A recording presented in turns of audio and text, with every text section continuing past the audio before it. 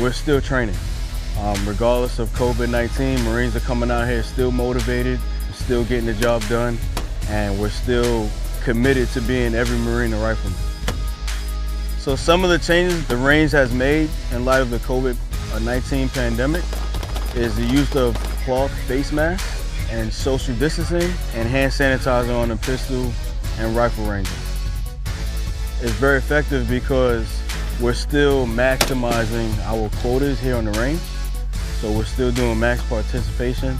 Another reason it's effective is because it's preventing as much as we can any sickness that's coming out here on the ranges